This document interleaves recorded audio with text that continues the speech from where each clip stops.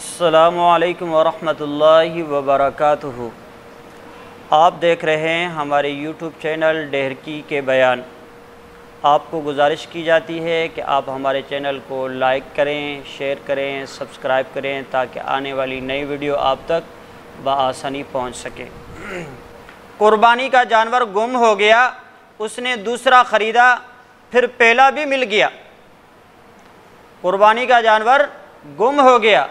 फिर उसने दूसरा ख़रीद कर लिया और जो पहले गुम हो चुका था वो भी मिल गया। तो अब इसके लिए क्या हुक्म है? देखा जाएगा, अगर जिस आदमी का ये जानवर जानवर गुम हो गया, वो मालदार है या गरीब?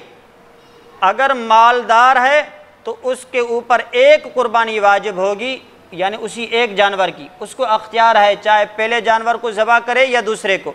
अगर गरीब है गरीब का पहले जानवर गुम हो गया अब दूसरा उसने जानवर ख़रीद कर लिया है तो ऐसी सूरत में गरीब को दोनों जानवर ज़बे करना ज़रूरी होगा।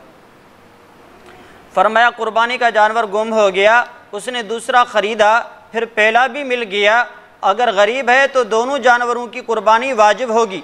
अगर मा, अगर मालदार है तो उस पर एक जानवर की कुर्बानी वाजिब होगी। दोनों में से किसी एक की कर सकता है। चाहे पहले जानवर की करे, कर ले या दूसरे की कर ले, लेकिन ये कुर्बानी अमीर के ऊपर एक की और गरीब के ऊपर दोनों जानवरों की।